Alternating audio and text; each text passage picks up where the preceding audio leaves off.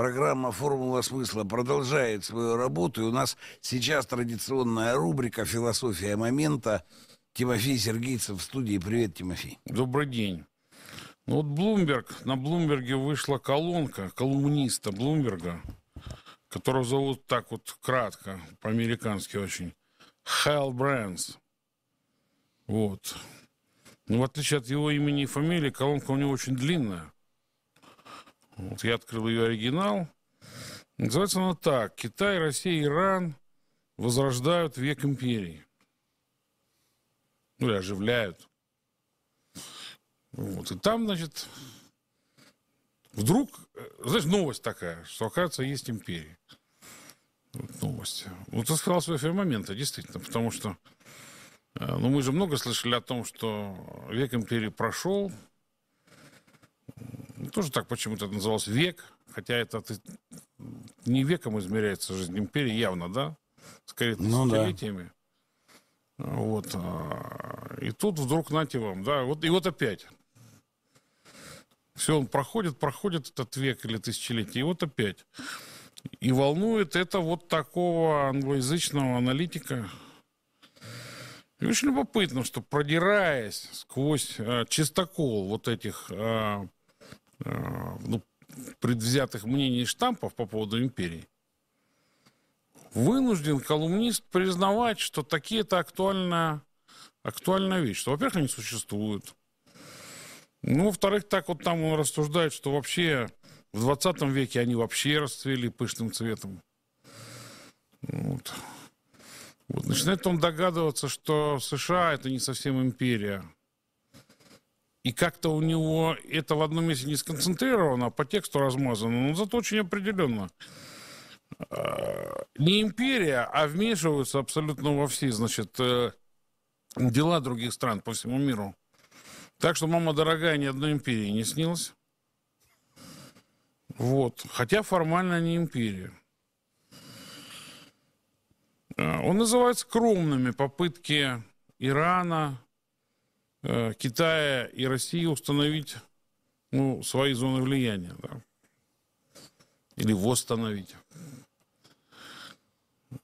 Скромными по сравнению с чем? Ну, по сравнению с вот этим разгулом разгулом американского э, деспотизма, ну, который он почти так и прямо и называет. И понимаешь, как интересно, то есть э, сквозь вот это вот, э, э ну и нам вмененное в свое время, э, значит, мнение, что империя, а это, во-первых, плохо, очевидно, ну одно слово как звучит, да нехорошо. Да. Мы сто лет поощряли всевозможный вот такой э, краевой, окраинный национализм.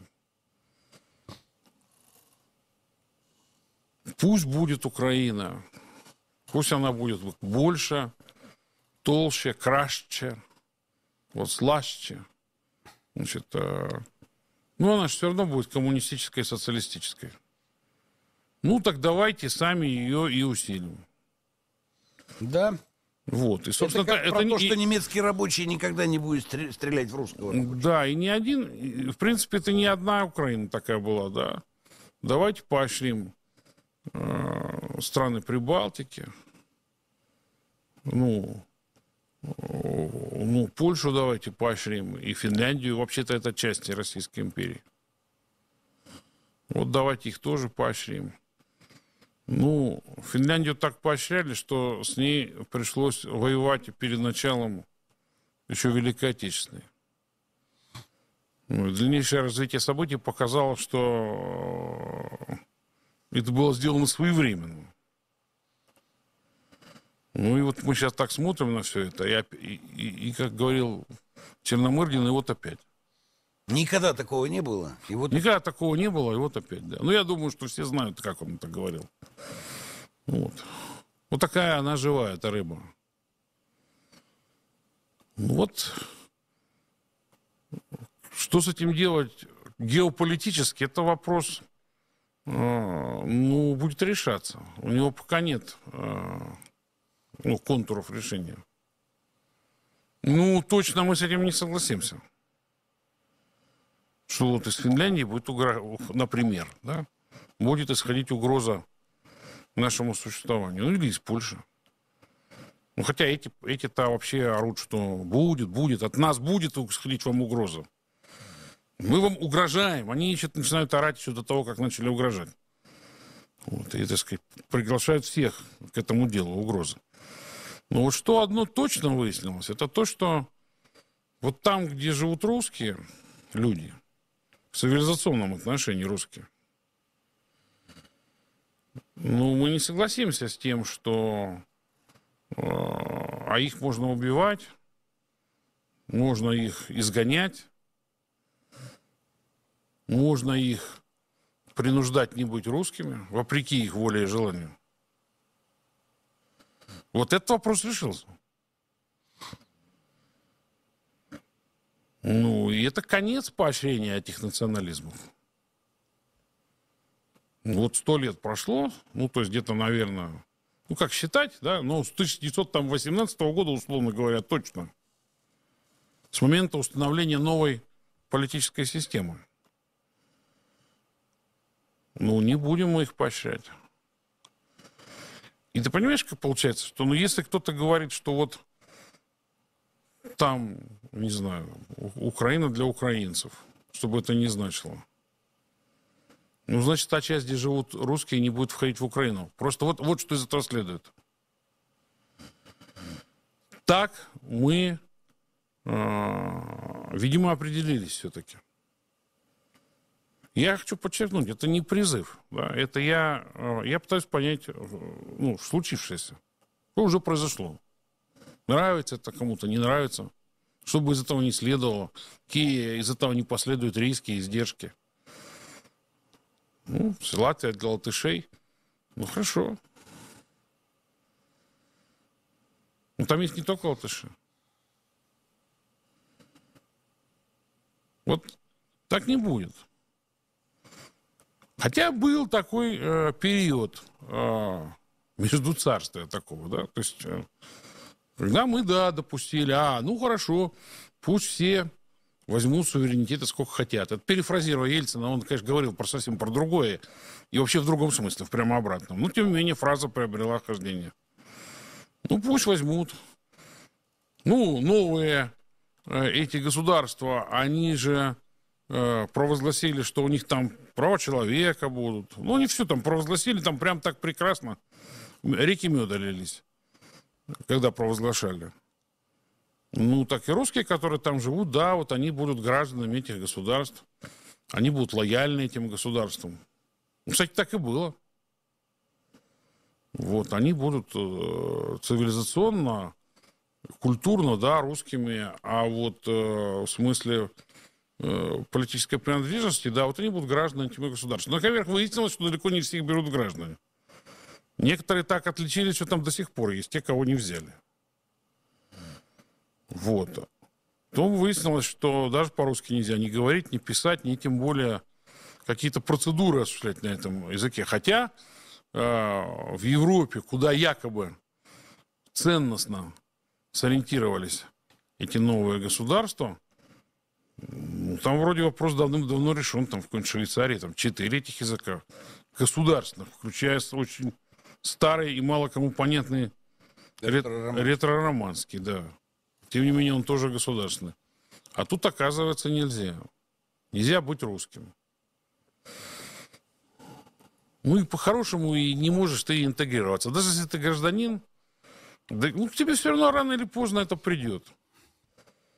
Что знаешь что, собирался бы ты и дул бы ты отсюда, туда вот, в Москву, куда там, в направлении Белгорода, еще куда-нибудь.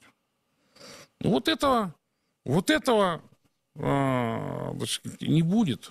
Этого не будет. Это вопрос решенный. И это означает, что будет коррекция границ, потому что, ну, раз эти национализмы объявили, что э, их вот эти э, новорожденные государство с весьма сомнительным суверенитетом, это для, для тех вот титульных наций, а русских там дофига. Это мы еще, э, я еще раз подчеркиваю, я ни к чему не призываю. Я просто хочу, обо, ну, как-то выяснить, что произошло. What's happened? Вот это произошло. А между прочим, расселение, ну, их этническими русскими называют, потому что нет для этого устоявшегося слова употребления. Ну, речь, конечно, идет о цивилизационных русских. В Казахстане они живут, на севере. Наиболее промышленно развитой его зоне, естественно. Знаем и понимаем, почему так произошло. Пока все тихо, относительно. Ну, если Казахстан окажется для казахов, ну, значит, та часть, в которой живут русские, не будет Казахстаном. Ни к чему я не призываю. Я не, э, не этот самый, не глашатый. Ну, надо понимать, что вот это произошло. В принципе, они достукались до этого. Добились того,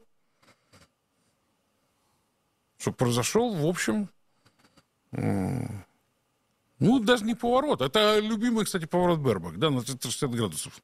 В том смысле, что мы, остановившись, вдруг раз и, и продолжили движение в том же направлении. Не будет Россия поощрять этот национализм. Она его поощряла.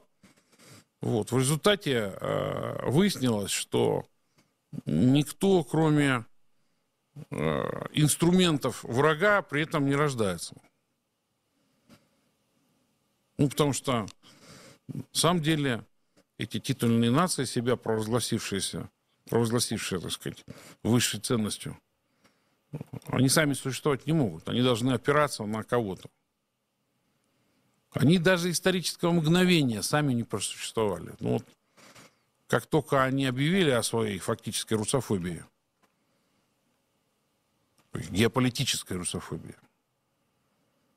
тут же выяснилось, что они побегут к врагам России. Вот, берите нас на службу, на довольствие, защищайте нас, а мы будем Значит, вот а Россию не любить и будем с Россией э, ссориться. Для начала. А там как пойдет. Ну и вот этот период, он, я, я хочу еще раз подчеркнуть, в, в чем тут ну, некоторая прочность этого события произошедшего. Это не 30 лет после постсоветских. Потому что Россия эти 30 лет проводила ту же самую политику, что она и проводила и при советской власти. Процветайте, будьте титульными нациями в своих республиках. Единственное, что снялся с повестки вопрос о коммунистическом движении. Да, вот он мировом. Ну, то есть о мировой революции. Это как его можно и так, и так, да, так сказать, обозначать. И это снялось, да. И в результате исчез координационный центр и, то ради, и та цель, ради которой этот национализм поощрялся. Вот это исчезло. Ну, попробуйте жить суверенно. Попробовали. Не вышло. Тимофей Сергеевцев и его рубрика «Философия момента». Спасибо, Тимофей. Э, ну что, с радиослушателями мы прощаемся на Вести ФМ. Эм. А на Соловьев Live у нас сейчас э, передача эстафеты ожидается.